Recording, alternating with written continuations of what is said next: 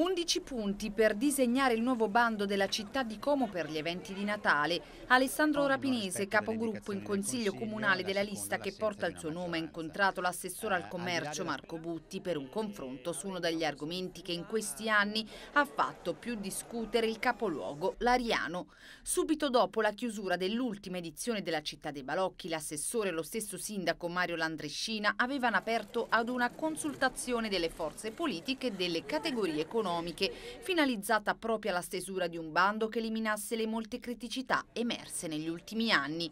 L'assessore Butti ha detto Rapinese al Corriere di Como mi ha contattato ed invitato ad un incontro nel quale discutere e dare suggerimenti per il prossimo bando relativo agli eventi natalizi. Ho accolto volentieri questo invito e mi sono presentata all'appuntamento con 11 proposte. Rapinese ha chiesto, tra le altre cose, che il bando sia annuale e plurimo, che gli organizzatori depositino con il bilancio tutte le fatture che gli eventuali utili delle manifestazioni siano devoluti in beneficenza, che nessuna impresa possa affittare più di una casetta del mercatino e che ciascuna faccia un rendiconto dei suoi costi e ricavi, che per le stesse casette sia data priorità ai commercianti di Como tramite un bando, che gli oneri per i piani della viabilità e della sicurezza siano a carico degli organizzatori e infine che la manifestazione